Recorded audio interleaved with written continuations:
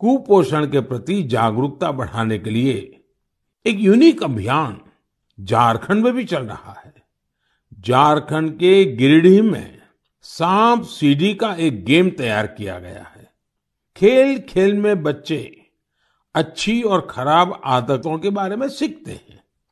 साथियों, कुपोषण से जुड़े इतने सारे अभिनव प्रयोगों के बारे में मैं आपको इसलिए बता रहा हूँ क्योंकि हम सबको भी आने वाले महीने में इस अभियान से जुड़ना है। सितंबर का महीना त्योहारों के साथ साथ पोषण से जुड़े बड़े अभियान को भी समर्पित है। हम हर साल 1 से 30 सितंबर के बीच पोषण माह मनाते हैं। कुपोषण के खिलाफ पूरे देश में अनेक क्रिएटिव और डाइवर्स एफर्ट्स किए जा रहे हैं।